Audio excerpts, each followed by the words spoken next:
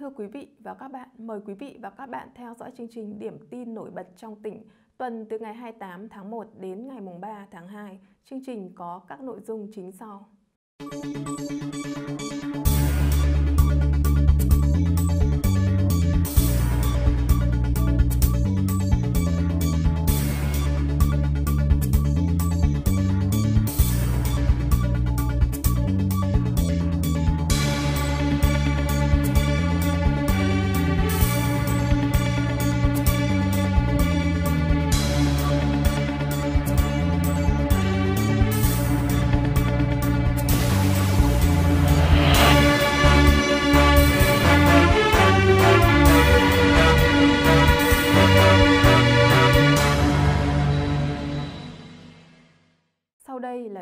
Chi tiết. Sáng ngày 1 tháng 2, Liên đoàn Lao động tỉnh tổ chức chương trình Tết Xuân Vầy Xuân Chia Sẻ năm 2024. Đồng chí Bùi Thị Minh Hoài, Bí thư Trung ương Đảng, trưởng Ban Dân vận Trung ương đã về dự động viên và tặng quà đoàn viên công nhân lao động trên địa bàn tỉnh.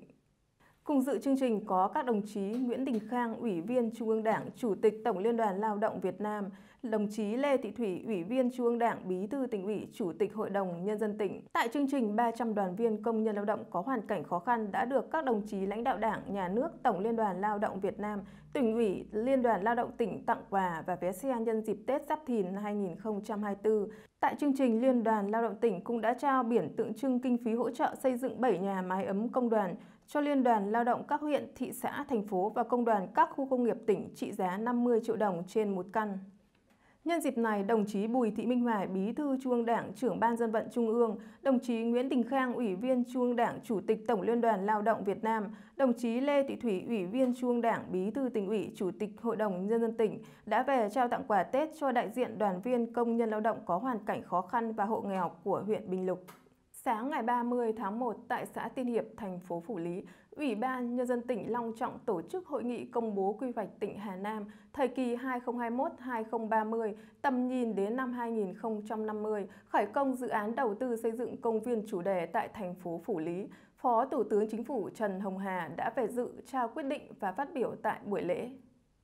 Ngày 26 tháng 12 năm 2023, Thủ tướng Chính phủ phê duyệt quy hoạch tỉnh Hà Nam thời kỳ 2021-2030, tầm nhìn đến năm 2050. Theo phê duyệt quy hoạch đến năm 2030, tỉnh Hà Nam đạt mức phát triển khá của vùng đồng bằng sông Hồng. Tầm nhìn đến năm 2050, tầm nhìn đến năm 2050, tỉnh Hà Nam trở thành thành phố trực thuộc Trung ương. Phát biểu tại buổi lễ, Phó Thủ tướng Chính phủ Trần Hồng Hà ghi nhận, chúc mừng Đảng bộ, chính quyền, nhân dân tỉnh Hà Nam trong việc thực hiện nhiệm vụ phát triển kinh tế xã hội năm 2023. Phó Thủ tướng cho rằng việc công bố quy hoạch tỉnh thời kỳ 2021-2030, tầm nhìn đến năm 2050 là sự kiện có ý nghĩa rất quan trọng đối với việc huy động các nguồn lực thu hút đầu tư, thúc đẩy phát triển kinh tế xã hội của tỉnh Hà Nam trong thời gian tới. Để xây dựng tỉnh Hà Nam trở thành thành phố trực thuộc Trung ương, Đảng bộ, chính quyền địa phương phải bám sát vào nghị quyết của Bộ Chính trị và định hướng phát triển đô thị, chuẩn bị đồng bộ hạ tầng giao thông, hạ tầng xã hội, phát triển đô thị hướng tới nói không với ủn tắc giao thông, nói không với ô nhiễm môi trường, đặc biệt là nói không với ô nhiễm môi trường nước. Thay mặt tỉnh ủy, Hội đồng Nhân dân, Ủy ban Nhân dân tỉnh, đồng chí Bí thư tỉnh ủy Lê Thị Thủy trân trọng cảm ơn Bộ Chính trị, Ban Bí thư Trung ương Đảng, Nhà nước, Chính phủ, Quốc hội, các bộ, ban, ngành Trung ương, các đồng chí lãnh đạo, nguyên lãnh đạo tỉnh ủy, Hội đồng Nhân dân, Ủy ban Nhân dân tỉnh qua các thời kỳ, các nhà khoa học, cán bộ các cấp đã quan tâm đến tỉnh Hà Nam trong việc xây dựng quy hoạch tỉnh Hà Nam thời kỳ 2021-2030, tầm nhìn đến năm 2050. Đồng chí Bí thư tỉnh ủy khẳng định quan điểm xuyên suốt của quy hoạch tỉnh là xây dựng địa phương phát triển theo hướng đẩy mạnh chuyển đổi số, chuyển đổi xanh, kinh tế tuần hoàn và toàn diện trên tất cả các mặt, kinh tế, xã hội, quốc phòng, an ninh. Để thực hiện hóa tầm nhìn của quy hoạch tỉnh, tỉnh ủy, hội đồng nhân dân, ủy ban nhân dân tỉnh Hà Nam sẽ tập trung đẩy mạnh tuyên truyền, phổ biến sâu rộng tới các cấp ngành, cộng đồng doanh nghiệp, các tầng lớp nhân dân về nội dung cốt lõi của quy hoạch, tạo sự thống nhất về nhận thức và quyết tâm cao trong việc thực hiện quy hoạch. Cùng với đó, tỉnh tổ chức triển khai đồng bộ các nhiệm vụ giải pháp trong quy hoạch gắn với thực hiện nghị quyết Đại hội Đảng bộ các cấp, nghị quyết Đại hội Đảng bộ tỉnh lần thứ 20 và nhiệm vụ phát triển kinh tế xã hội của địa phương.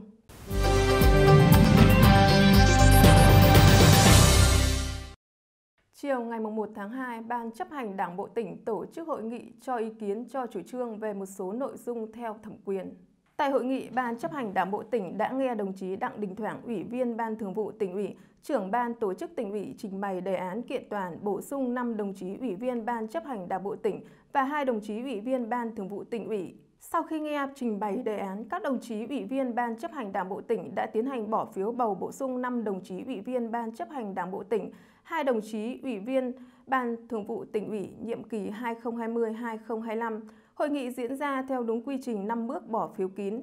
Trong chương trình làm việc cùng ngày, Ban chấp hành Đảng Bộ tỉnh cũng đã cho chủ trương về việc điều chỉnh chủ trương đầu tư dự án, đầu tư xây dựng khu đô thị thời đại và đổi mới sáng tạo. Phát biểu kết luận hội nghị, đồng chí Lê Thị Thủy, Ủy viên Trung Đảng, Bí thư tỉnh ủy, Chủ tịch Hội đồng Nhân dân tỉnh nhấn mạnh, về công tác cán bộ, Ban chấp hành Đảng bộ tỉnh thống nhất giới thiệu 5 đồng chí bổ sung ủy viên Ban chấp hành Đảng bộ tỉnh, giới thiệu 2 đồng chí bổ sung ủy viên Ban thường vụ tỉnh ủy nhiệm kỳ 2020-2025 với số phiếu tập trung cao. Ban chấp hành Đảng bộ tỉnh giao Ban thường vụ tỉnh ủy, lãnh đạo chỉ đạo Ban tổ chức tỉnh ủy tham mưu hoàn thiện thủ tục hồ sơ để báo cáo Ban tổ chức Trung ương, Ban bí thư xem xét quyết định, bảo đảm đúng quy trình theo quy định về chủ trương điều chỉnh chủ trương đầu tư dự án đầu tư xây dựng khu đô thị thời đại và đổi mới sáng tạo, Ban chấp hành Đảng bộ tỉnh thống nhất chủ trương đối với nội dung đề xuất của Ban cán sự Đảng Ủy ban Nhân dân tỉnh. Ban chấp hành Đảng bộ tỉnh giao Ban cán sự Đảng Ủy ban Nhân dân tỉnh, lãnh đạo chỉ đạo Ủy ban Nhân dân tỉnh chỉ đạo các cơ quan, đơn vị địa phương có liên quan thực hiện chủ trương trên theo đúng quy định, nhất là các quy định về đấu thầu, đất đai, đầu tư, xây dựng, đảm bảo phù hợp với những quy hoạch có liên quan. Sáng ngày 29 tháng 1, Ban Thường vụ tỉnh ủy tổ chức hội nghị gặp mặt các đồng chí cán bộ lão thành cách mạng, cán bộ tiền khởi nghĩa, cán bộ nguyên là lãnh đạo thuộc diện Bộ Chính trị, Ban Bí thư, Ban Thường vụ tỉnh ủy quản lý nghỉ hưu trên địa bàn tỉnh Hà Nam nhân dịp Tết Nguyên đán Giáp Thìn năm 2024. Tại hội nghị, đồng chí Lê Thị Thủy, Ủy viên Trung ương Đảng, Bí thư tỉnh ủy, Chủ tịch Hội đồng Nhân dân tỉnh trân trọng báo cáo tóm tắt với các đồng chí cán bộ lão thành cách mạng, cán bộ tiền khởi nghĩa, cán bộ nguyên là lãnh đạo chủ chốt của tỉnh qua các thời kỳ đã nghỉ hưu về tình hình phát triển kinh tế xã hội của tỉnh trong năm 2023, phương hướng nhiệm vụ trọng tâm năm 2024 của tỉnh Hà Nam. Đồng chí Bí thư tỉnh ủy khẳng định Kết quả đạt được trong năm qua là sự kế thừa và phát huy thành quả của quá trình phấn đấu nỗ lực của Đảng bộ, chính quyền, quân và dân trong tỉnh và các thế hệ cán bộ lão thành cách mạng, cán bộ tiền khởi nghĩa, cán bộ chủ chốt của tỉnh qua các thời kỳ với quyết tâm xây dựng quê hương Hà Nam ngày càng giàu đẹp, văn minh. Nhân dịp này, thay mặt tỉnh ủy, Hội đồng Nhân dân, Ủy ban Nhân dân, Ủy ban Mặt trận Tổ quốc tỉnh, đồng chí Bí thư tỉnh ủy trân trọng gửi lời tri ân, lời cảm ơn sâu sắc tới các đồng chí cán bộ lão thành cách mạng, cán bộ tiền khởi nghĩa và các đồng chí cán bộ chủ chốt của tỉnh qua các thời kỳ vì những đóng góp to lớn cho sự nghiệp phát triển của đất nước nói chung và của quê hương Hà Nam nói riêng. Năm 2024 là năm then chốt tạo đà thực hiện thắng lợi nghị quyết Đại hội Đảng lần thứ 13, nghị quyết Đại hội Đảng Bộ tỉnh lần thứ 20, nghị quyết Đại hội Đảng các cấp nhiệm kỳ 2020-2025. Để thực hiện thắng lợi mục tiêu nhiệm vụ đã đề ra trong năm 2024, đồng chí Bí thư tỉnh ủy mong muốn tiếp tục nhận được sự quan tâm đóng góp ý kiến của cán bộ, đảng viên, nhất là của các đồng chí nguyên lãnh đạo tỉnh qua các thời kỳ, sự ủng hộ của cộng đồng doanh nghiệp, sự đồng thuận của các tầng lớp nhân dân. Đồng chí Bí thư tỉnh ủy tin tưởng, mong muốn với vị thế uy tín, kinh nghiệm của mình, các đồng chí nguyên lãnh đạo tỉnh sẽ tiếp tục thường xuyên theo dõi, quan tâm, đóng góp nhiều ý kiến giúp cấp ủy, chính quyền các cấp chỉ đạo vượt qua khó khăn, thách thức, hoàn thành tốt trọng trách được giao, xây dựng đảng bộ, chính quyền và hệ thống chính trị trong sạch vững mạnh, góp phần xây dựng tỉnh Hà Nam ngày càng giàu đẹp, văn minh.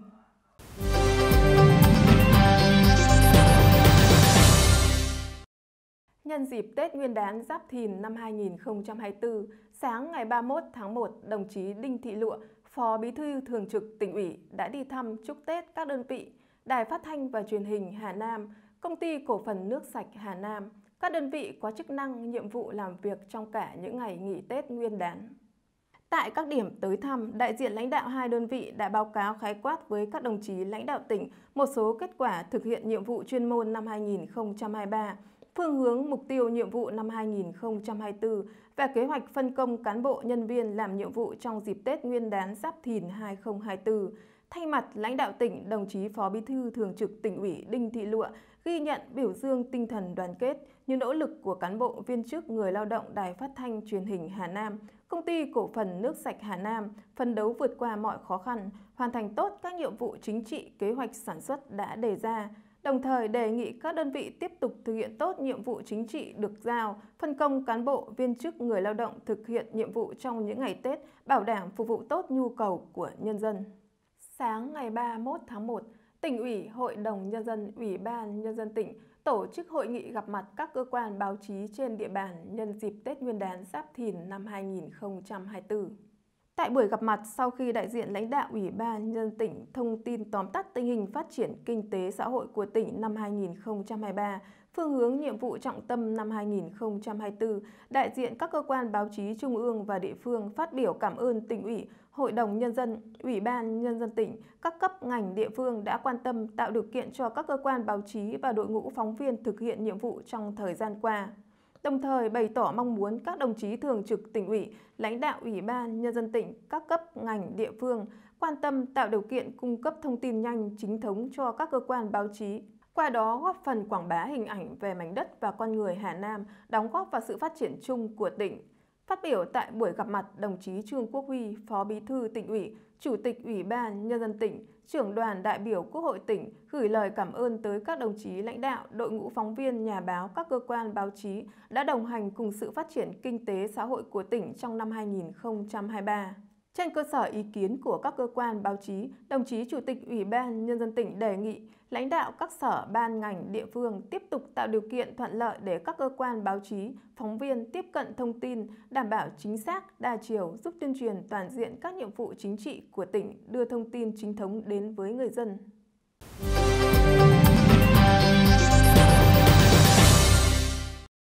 Chiều ngày 30 tháng 1, Ủy ban Nhân dân tỉnh tổ chức hội nghị công bố và trao quyết định của Chủ tịch Ủy ban Nhân dân tỉnh về việc điều động và bổ nhiệm chức vụ Tránh Văn phòng Ủy ban Nhân dân tỉnh, trưởng Ban Quản lý các khu công nghiệp tỉnh, Giám đốc Sở Thông tin và Truyền thông, Giám đốc Đài Phát thanh và Truyền hình Hà Nam.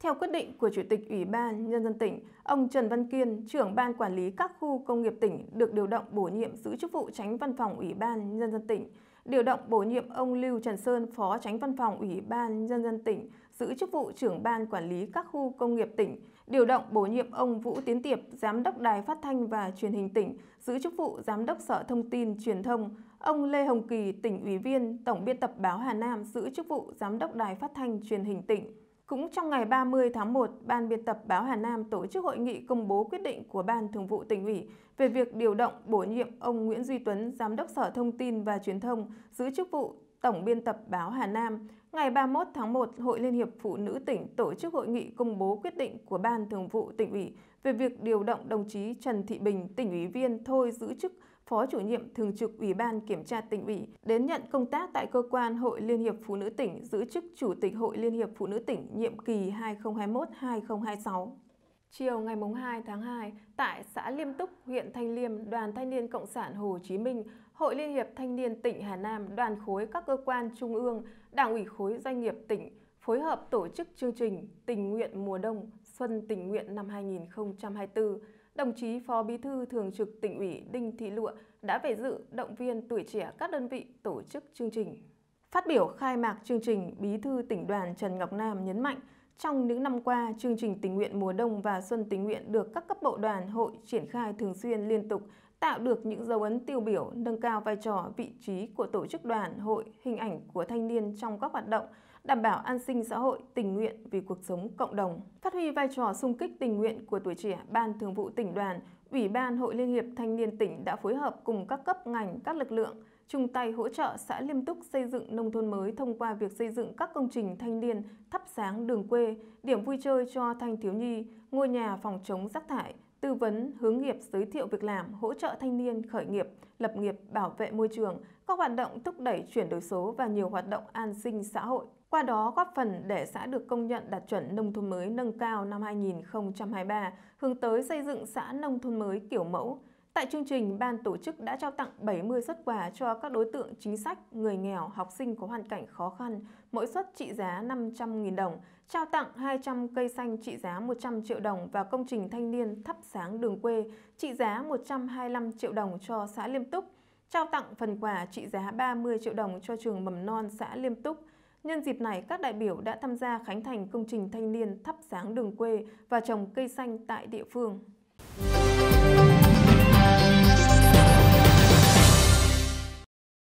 Chiều ngày 31 tháng 1, đồng chí Trương Quốc Huy, Phó Bí thư tỉnh ủy, Chủ tịch Ủy ban Nhân dân tỉnh, trưởng đoàn đại biểu Quốc hội tỉnh đã tiếp và làm việc với Hiệp hội Giáo dục An toàn Hàn Quốc về nghiên cứu xây dựng trung tâm trải nghiệm an toàn lao động tại địa phương. Tại buổi làm việc, đồng chí Chủ tịch Ủy ban Nhân dân tỉnh Trương Quốc Huy đã thông báo về chủ trương thu hút đầu tư của tỉnh. Đồng chí cũng giới thiệu về khu đại học Nam Cao và các khu công nghiệp tại Hà Nam có thể đầu tư. Khu đại học Nam Cao và các khu công nghiệp kết nối giao thông rất thuận lợi. Đặc biệt, khu đại học Nam Cao đã được đầu tư hạ tầng đầy đủ, có thể xây dựng ngay các trường đào tạo tại đây. Phát biểu tại hội nghị, Ngài Park Noan, nguyên đại sứ Hàn Quốc tại Việt Nam cho biết lý do Hiệp hội Giáo dục An toàn Hàn Quốc chọn Hà Nam để đầu tư dự án vì Hà Nam ở gần Hà Nội, giao thông thuận tiện, có các chính sách thu hút đầu tư, nhất là đầu tư về giáo dục. Hiệp hội Giáo dục An toàn Hàn Quốc muốn xây dựng tại Hà Nam một trung tâm hình mẫu về trải nghiệm an toàn lớn nhất Việt Nam. Thời gian gần đây tại Việt Nam có một số vụ hỏa hoạn xảy ra, vấn đề an toàn phòng cháy chữa cháy, an toàn lao động, an toàn công nghiệp được quan tâm. Ngài Park Noan cũng cho biết để đầu tư một trung tâm như thế cần nhiều điều kiện và đầu tiên Hiệp hội mong muốn tỉnh bố trí quỹ đất 20 hecta để xây dựng trung tâm. Theo dự kiến, chi phí đầu tư ban đầu của Hiệp hội để xây dựng trung tâm khoảng 50 triệu đô la. Ngài Park mong muốn tỉnh tạo điều kiện để dự án được triển khai một cách nhanh chóng. Đồng chí Chủ tịch Ủy ban Nhân dân tỉnh Trương Quốc Huy hoan nghênh Hiệp hội Giáo dục An toàn Hàn Quốc đã chọn Hà Nam để đặt trung tâm trải nghiệm an toàn lao động. Đồng chí cho biết quỹ đất Hà Nam có và tỉnh tạo điều kiện cho Hiệp hội đầu tư đặt trung tâm tại Hà Nam. Sau khi bàn luận tại hội trường Ủy ban Nhân dân tỉnh, đồng chí Chủ tịch Ủy ban Nhân dân tỉnh và các thành viên Hiệp hội đã đi tham quan thực tế một số vị trí có thể đầu tư và bàn các vấn đề tiếp theo của việc triển khai đặt trung tâm trải nghiệm an toàn lao động. Trong không khí tưng bừng chào đón xuân mới, thiết thực kỷ niệm 94 năm ngày thành lập Đảng Cộng sản Việt Nam, sáng ngày 1 tháng 2, tại Nhà văn hóa xã Hoàng Tây, huyện Kim Bảng, Hội Nhà báo tỉnh Hà Nam phối hợp với huyện ủy, Ủy ban Nhân dân huyện Kim Bảng tổ chức khai mạc trưng bày báo Tết, báo Xuân Giáp Thìn 2024. Phát biểu tại lễ khai mạc, lãnh đạo Hội Nhà báo tỉnh cho biết mỗi dịp Tết đến xuân về, những người làm báo tỉnh Hà Nam lại có dịp về với cán bộ, đảng viên, nhân dân một số địa bàn cơ sở để giới thiệu toàn cảnh báo Tết, báo xuân của các cơ quan báo chí trung ương và các địa phương trong cả nước. Đây là hoạt động thường niên của Hội Nhà báo tỉnh Hà Nam nhằm góp phần đưa ấn phẩm báo chí đến với đông đảo công chúng địa phương, giới thiệu những thành tựu về phát triển kinh tế, văn hóa, xã hội, xây dựng đảng, đảm bảo quốc phòng an ninh cũng như những nét đẹp truyền thống của khắp mọi miền đất nước. Tại hội báo năm nay, Hội Nhà báo tỉnh Hà Nam trưng bày giới thiệu hàng trăm đầu báo tạp chí với hơn 1.000 ấn phẩm của hầu hết các cơ quan báo chí trung ương và 63 tỉnh, thành phố trong cả nước. Đây là món quà xuân ý nghĩa, góp vào không khí vui tươi phấn khởi trong những ngày mừng đảng, mừng xuân, mừng đất nước đổi mới và đón Tết cổ truyền của dân tộc. Phát biểu tại chương trình, đồng chí Phạm Hồng Sơn, tỉnh ủy viên bí thư huyện ủy Kim Bảng cho biết, huyện rất hoan nghênh và phấn khởi khi Hội Nhà báo tỉnh đã chọn một địa phương của huyện để tổ chức hội báo năm nay.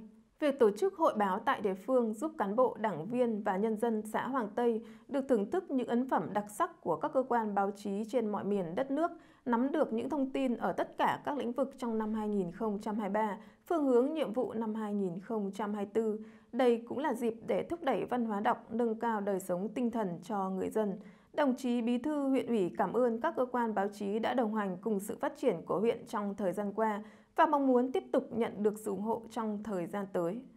Tối ngày 1 tháng 2, tại Cung Văn hóa Lao động hữu nghị Việt Xô, Ban Tổ chức Trung ương phối hợp với Báo Nhân dân, Tạp chí Cộng sản, Đài truyền hình Việt Nam và Hội Nhà báo Việt Nam tổ chức lễ trao giải báo chí toàn quốc về xây dựng đảng, giải Búa Liềm Vàng lần thứ 8 năm 2023. Giải Búa Liềm Vàng là giải thưởng thường niên do Ban Tổ chức Trung ương phối hợp với Báo Nhân dân, Tạp chí Cộng sản, Đài truyền hình Việt Nam và Hội Nhà báo Việt Nam tổ chức để trao tặng cho các tác phẩm báo chí xuất sắc viết về xây dựng đảng trên các mặt chính trị, tư tưởng, đạo đức, tổ chức và cán bộ, thuộc các lĩnh vực công tác, tổ chức, cán bộ, tuyên giáo, kiểm tra, dân vận, đối ngoại, phòng chống tham nhũng được đăng phát trên các loại hình báo chí. Năm nay, ban tổ chức đã nhận được 2.216 tác phẩm, tăng 184 tác phẩm so với mùa giải trước. Từ 120 tác phẩm được Hội đồng sơ khảo xét chọn, Hội đồng trung khảo đã xem xét lựa chọn ra các tác phẩm xuất sắc để trao 6 giải A, 12 giải B, 18 giải C, 6 giải chuyên đề và 30 giải khuyến khích. Loạt bài ba kỳ phóng sự điều tra khơi dậy lý tưởng cách mạng cống hiến của đảng viên trẻ, vấn đề cần quan tâm của tác giả Chu Yên, bút danh Giang Nam, báo Hà Nam đã đoạt giải chuyên đề tác phẩm xuất sắc về đổi mới nâng cao chất lượng công tác giáo dục chính trị tư tưởng. Đây là năm đầu tiên một cơ quan báo chí của tỉnh Hà Nam đạt giải chính thức tại giải báo chí danh giá này sau 8 lần được tổ chức.